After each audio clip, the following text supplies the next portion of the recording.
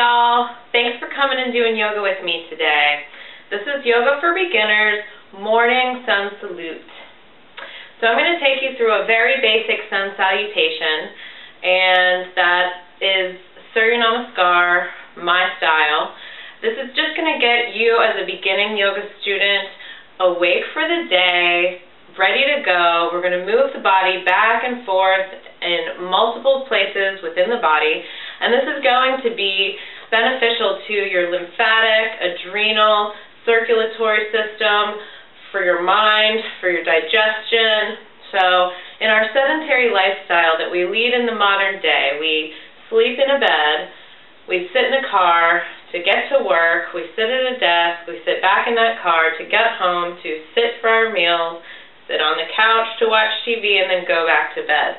Yoga is the perfect solution to combat degeneration from this very sedentary lifestyle. So make sure you do a very simple practice like this as a beginning student every single day or at least four or five times a week. And it'll only take a few minutes of your day. So we're going to start on our yoga mat at the top of the mat with our toes together and our heels separated about an inch. So I call it the bunion part of the foot together, heels separated about an inch. And then we're going to go through our basic alignments just to get us through the beginning of our practice. You want to plug your feet in from the front pads of your feet to the back pads on the inside and outside. Lift your inner and outer arches. And we're going to rotate our shins away from one another. We're not going to lock our knees. We're not going to bend our knees. We're going to bring a microscopic bend to the knees, drawing upwards on the kneecaps. We're going to draw the thighs inward towards one another, which could feel like you're splaying the hips out. But to combat that, you're going to tuck the tailbone, which will bring tone to the lower core. And then from there, we're going to draw up through the rib cage, up through the shoulders, slightly draw the shoulder blades together, and slightly draw the shoulder blades down the back for that shoulder loop. We're going to lengthen the back of the neck, Bring a line of energy down the crown of the head, down the nose bridge, towards the sternum, drawing the jawbone back towards the ears. So this is our perfect mountain pose. You want to bring these alignments to every single yoga pose that you do. So we're starting here in Anjali Mudra. It looks like a prayer position. Yoga is not a religion. It's often confused with that. And this prayer position that you see in yoga simply centers us. It's called Anjali Mudra, which means centering hand configuration. So it brings our hands down the center line of the body. Let's for a minute close our eyes. Remember our alignments. Strengthen the body and establish your yogic breath that I taught you in the pranayama video.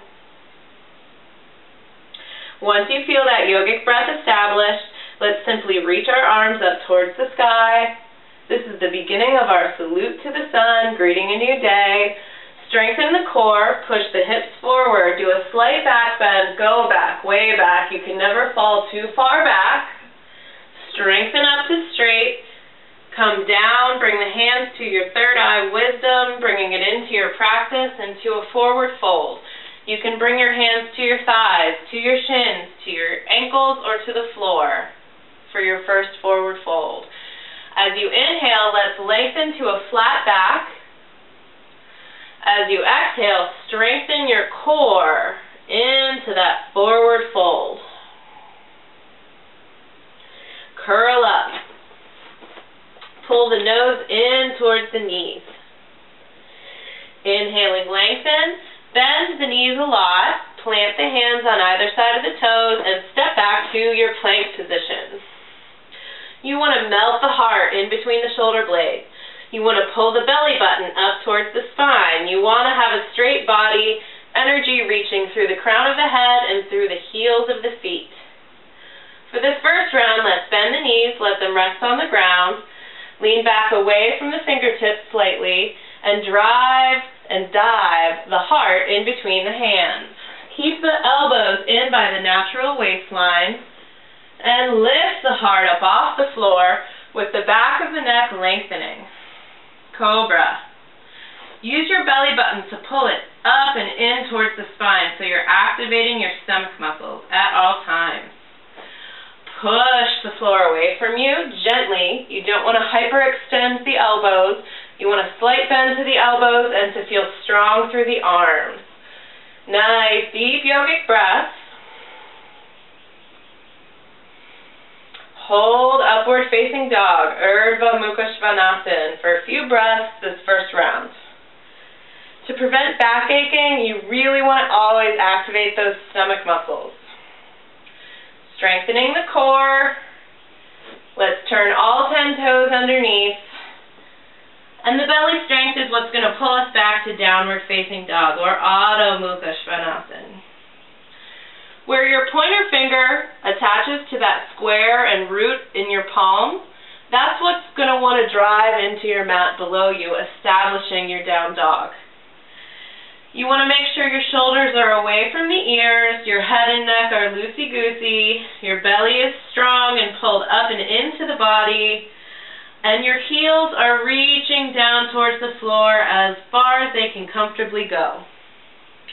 No matter what style of yoga you're practicing, Adho Mukha Svanasana, down dog, is held for the longest amount of time in multiple different styles of yoga in this series.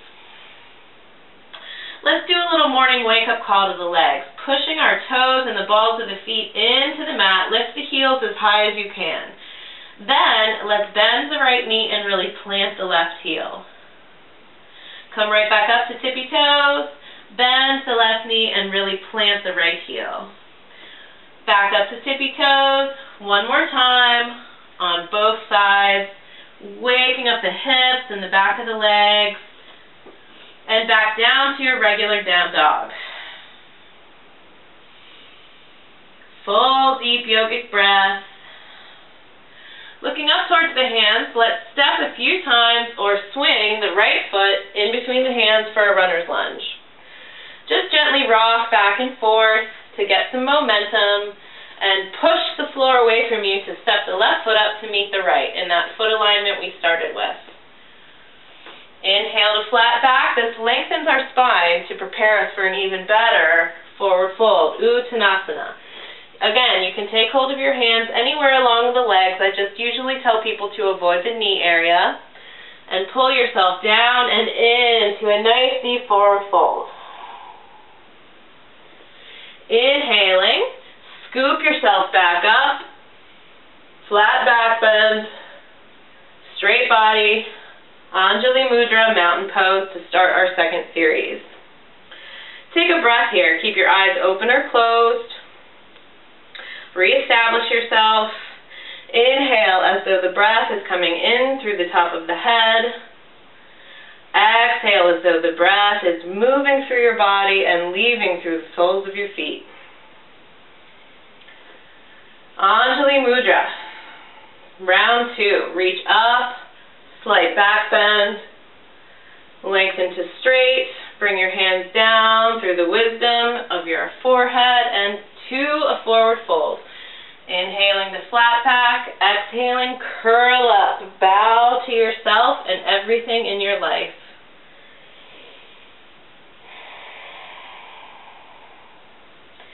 Inhaling, we're going to bend the knees, plant the hands, and step or hop back to plank. From here, we hold plank for one strong breath. You can bend your knees again like we did in the first round, or for more challenge, you can keep your legs straight.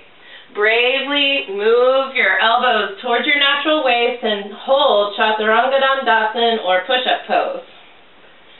Push through to upward facing dog. Inhaling deeply, exhaling deeply. Activate your core and move all the way back to downward dog. Inhaling deeply, exhaling deeply. We hold this pose for at least 4 to 12 breaths. So down dog is the most important pose you can do. Just hold this pose. If you have time for no more yoga in your day, but just one pose, down dog is the pose you should do. Bringing the head lower than the heart really rejuvenates the brain, prevents depression, is good for the cardiovascular system, challenges the bloodstream. It's even considered a resting pose for a lot of Surya Namaskar sun salutes. Vinyasa flow yoga. From here, let's look up towards the hands, bend the knees almost all the way to the floor, and hop lightly or step your way back to flat back, then forward fold. Bring the palms together at the heart. Inhale, shoot up like a strong rocket, soft back bend, and back to Anjali Mudra. We start in mountain pose. Now take each round of the sun salute as slow as you need it to go. You are your best yoga teacher. I am simply a guide. So you can keep your first round of, or your every following round of your sun salute as slow as your first round, or you can continue to build speed with me. As we inhale, lengthen up, back. From here, we're going to make sure that sure those pointer toes are together sit in chair position. Knees squeeze together, which activates that center muscle of the core. We're going to roll the shoulders back and imagine there's a chair below our seat. You can keep your hands in prayer position. You can keep them shoulder width apart, parallel to the floor or ceiling. Or if you want to go for the full position, arms on either side of the ears, soft gaze ahead of you. This is a strong pose, and it really builds a lot of heat in the body. The yogic breath is the most important piece to activate here. It, it fans the flame. From here, bring those hands down through your wisdom, down to the ground. Inhale, flat back. Exhale, Uttanasana, forward fold. Inhale. Bend the knees a lot, plant the hands, step or hop back to plank. Lower down to push-up pose. Upward dog, strong belly. Leaves you back to downward dog. Now you can stay right here in down dog and just hold this pose. If you feel like you need a breather, you can come into child's pose. That'll help you prevent dizziness.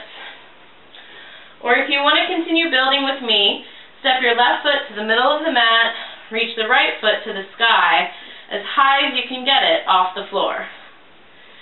Strengthen your belly, pull your right knee into the belly and step it through to a runner's lunge. Right from here, you can stay here to work on your lunge, or you can bring your hands to your thighs for more strength building, or sweep your hands all the way up to crescent pose. Nice deep belly breath, lengthen, strengthen. In any lunge in yoga, you want your right thigh, or your, your thigh, to be at a right angle with your shin, right angle with your ankle. So you want to look for that zigzag in a perfect 90 degree angle down your leg. Hands through your heart center, back to runner's lunge, back to plank, and through our flow to upward dog, downward dog. To balance that out, if you did the right side, let's do the left. So step your right foot to the middle of the mat. Lift your left leg as high up off the floor as you can get it. Strengthen your belly as you step your left knee into the core and through to the runner's lunge. Nice deep belly breath. Crescent pose. Shoulders away from the ears. Inhaling exhaling. The breath is the most important piece. Really challenge yourself in your version of the pose right now. And then bring your hands back down to runner's lunge.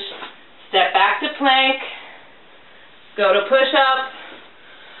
Upward dog. Downward dog. Inhaling, exhaling. Bend both knees a lot. Step or hop back to your fingertips. Inhale, lengthen your back. Flat back. Exhale, forward fold. Inhale, hands together. Reach to the sky. Soft back bend. Back up to straight. And to Anjali Mudra, mountain pose.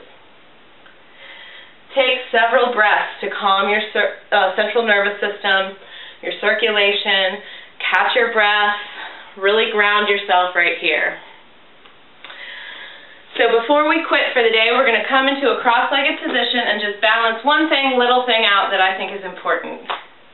In sun salutation, there's a lot of forward bending and backward bending, which, like I said in the beginning, is awesome for the body.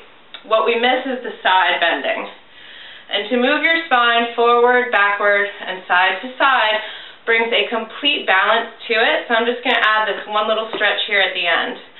Come to as comfortable a cross-legged position as you can get. Try to get your ankles as close to being in one line as possible, as close to your body or as far away from your body as you need them to be. From here, we're going to take our left hand right off of the left hip and lower it, the elbow, as close to the ground as we can comfortably get it. From here, you want to make sure the elbow stays directly underneath the shoulder the right arm reaches up and over, staying in the same plane as the ear. Let your head and neck relax, and then look up towards the eye of the elbow if that feels comfortable. If not, just look straight ahead. Take a nice stretch. Make sure your right hip stays grounded. Open up the side waist, the intercostal muscles. From your right hip pushing into the earth, reach up and away from that. Stretch like you're waking up in the morning all the way over to the second side.